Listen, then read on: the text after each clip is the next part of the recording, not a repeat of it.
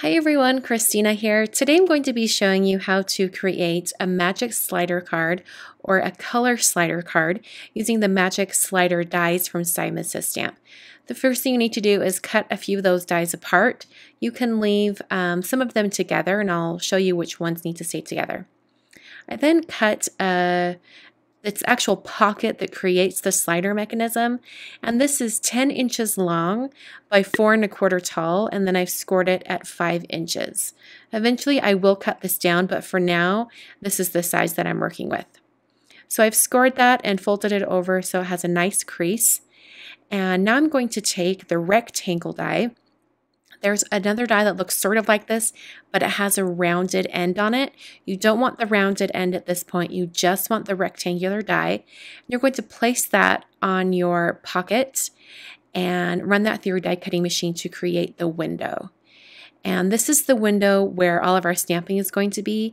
And it also needs some acetate with it. So I'm going to use the cutout from that die as a guide to just cut out some acetate that's slightly larger than the window. And it doesn't have to be precise measurement, just a little bit bigger than the window.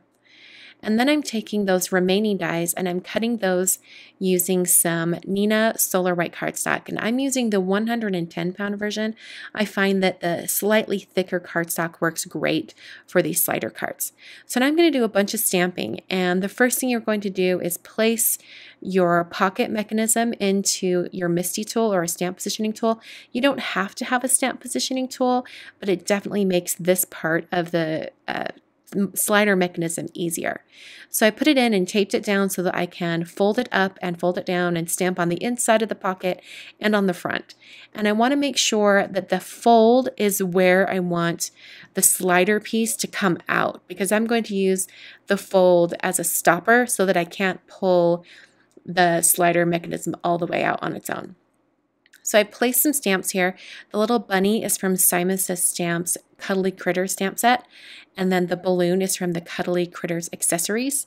And I actually trimmed that balloon stamp so it was a little bit shorter so it would fit inside the window. Um, if I ever need to stamp that balloon again, I can always mount them together.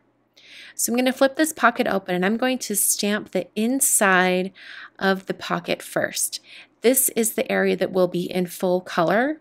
So I'm stamping that in VersaFine Onyx Black ink, which is a waterproof ink. I'm going to be doing some watercoloring on top, so I wanted to use a waterproof ink. And I also used Bristol uh, paper for this, a Strathmore Bristol paper, because the coloring medium I'm going to use is some Zig Clean Color markers. So I protected the inside of that pocket with a large post-it note. And then I taped that pocket closed so that I can stamp on the front of the pocket. This is just going to stamp some of those areas that are hanging outside the window. So this the bunny's feet and then also the side of that heart balloon. And that's just going to further, um, it, I just think it looks really cool to have a little bit of the design going off the edges of the window. So I'll take that window piece out and now I'm going to stamp the acetate. And this has to be stamped very precisely because you want it to be seamless as you uh, do the coloring and, and put it all together. So I've placed the acetate over that bunny and balloon, and then I'm cleaning off the stamp. I'm going to change inks here because a VersaFine ink is a pigment ink, and so it won't ever really dry on top of acetate. Instead, I'm going to switch to StazOn Jet Black ink. And this is a really sticky ink, so you want to make sure to tape down that acetate or use some post-it tape to tape it down and hold it in place because as I swing this over and stamp the bunny and the heart balloon, when I pull up, it's going to want to pull up that sheet of acetate with it. It's going to be really sticky, and so you want to tape it down just in case you need to stamp it again. But in my case, it was pretty okay. I just had one little spot that on the the string on the balloon that wasn't complete.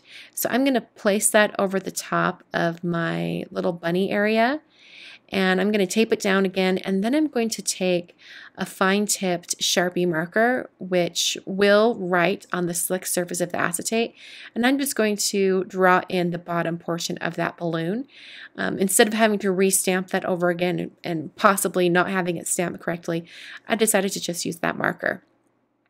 So I've closed the pocket and I'm tracing a pencil along the, along the inside of that window. And then I'm taking my slider mechanism. This is the die cut piece that has the rounded end. And I'm using that as a guide to get the measurements for how big I want this um, opening to be on my fold. So I've made two little tick marks with a pencil and then I'm cutting a little opening for that slider to go in and out and you want it to be uh, just the right size. You don't want it to be any bigger than that slider, and you also don't want it to be any smaller because if it's smaller, the slider won't come out at all. So you kind of want to just uh, be really patient with yourself, cut a little bit at a time until you get the perfect measurement.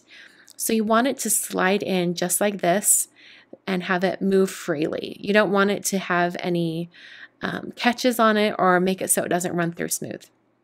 So now I'm going to take a little bit of some tape adhesive. This is Express It tape. And I've put adhesive on the very end of that slider piece. You're going to use the straight end piece. You're going to glue down one of the smaller strips that were die cut earlier. There are two of these strips are the same size. One of them goes on the back of the slider and the other one's going to go um, on the inside of the pocket. So I've got that slider covering up the bunny area, and then I'm adhering one of the longer um, tracks along the side. You want it to leave a gap in between the slider and uh, the track, and then you know just use the the size of the stopper as a guide, and then you can put the smaller stopper on the one end, and then pull that all the way through and then all you have to do is match up where the um, stopper on the slider is and where the the end of that track is on the other side. You can adhere that down. So it creates sort of like a U shape that um, nestles around the stamped area.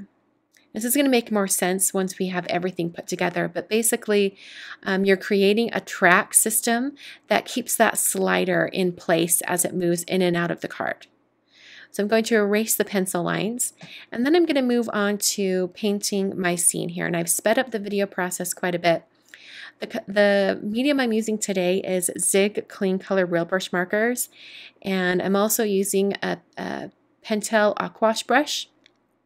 And um, I love using these markers on top of Bristol paper. This is Strathmore Bristol paper. Um, I've tried using these markers on other papers and it just doesn't work as well.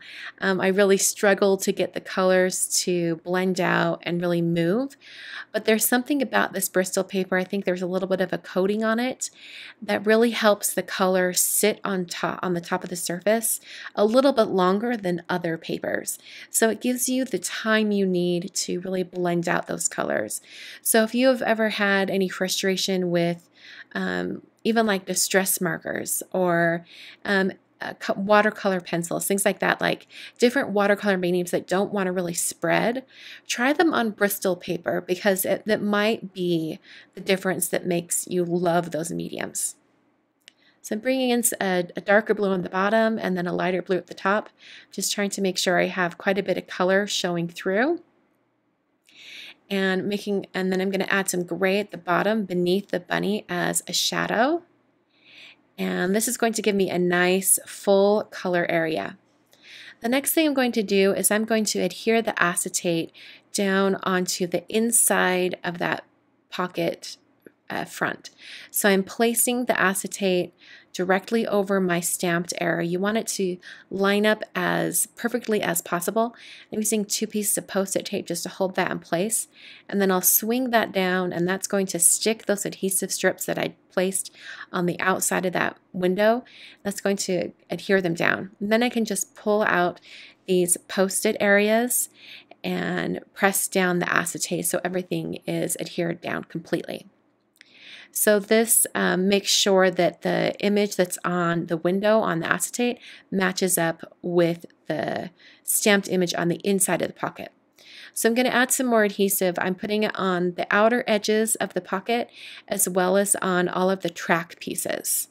And this is going to enclose that entire slider area and make it so that that um, slider goes in and out really easily and it doesn't go off the tracks. So I'm adding all that adhesive around all of those edges.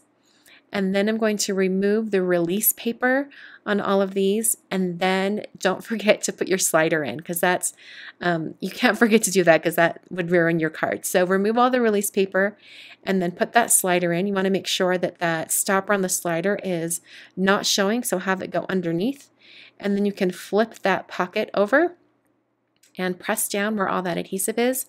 And then you've you've built your entire slider mechanism.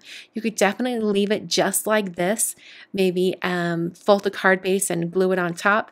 But I decided to actually trim this down so it was smaller and I'm going to do a watercolor background for the rest of the card front. So I'm using that piece of acetate that I used earlier um, that I cut a small corner out of and I'm scribbling on using my Zig Clean Color Real Brush markers and some of the colors that I used in the scene that I've already painted. So I'm adding those on. I'm going to add a little bit of that darker blue. This is peacock blue. It's one of my favorite colors. And then I'll take a spray bottle. This is a distress sprayer. And I'll just spray that over the top of this scribbled area. Then I can pick up that acetate sheet and flip it over very carefully and then smush that down onto my card base. I've created a card base out of some Bristol paper it's just so that the white colors match. And I'm pressing that down and getting all those colors to move around. And I wish it looked like that before I lifted the acetate, but um, when you lift the acetate, it moves the, the water around a little bit. And so you get um, some really organic shapes. So just pounce that a little bit. Um, added a few more areas um, of pouncing color. Most of this is actually going to be covered up by that slider area, but I really did love how this turned out. So after I dried that completely, I flicked on some water, just using the palm of my hand, and then I used a paper towel to pick up some of that color. These Zig Clean Color Real Brush markers, the ink in them is very reactive to water. So it's very similar to distress inks in that way, where you can put water on top and then pick up the color. So I decided to add a little bit of color to the slider mechanism. So I just drew a line where that uh, sticks out the top. And then I used a black marker, the same Zig Clean Color Real Brush markers, and colored that in. And after that was colored, I used a white Gelly Roll pen just to write the word pull on top. This is going to make sure that the person who receives this card knows what to do in order to rebuild the colored area. So I put this on foam adhesive just so it sticks up off the front of the card so it's a little bit easier to pull that tab glued that down. And then I took a black Sharpie marker, the same one I used on the balloon earlier, and put a stitched line around the end, around the frame. So that is the magic slider card or the color slider card. Super fun. I thought this was a really fun way to have an interactive card. Thanks for watching. I hope you guys enjoyed and I will catch you guys next time.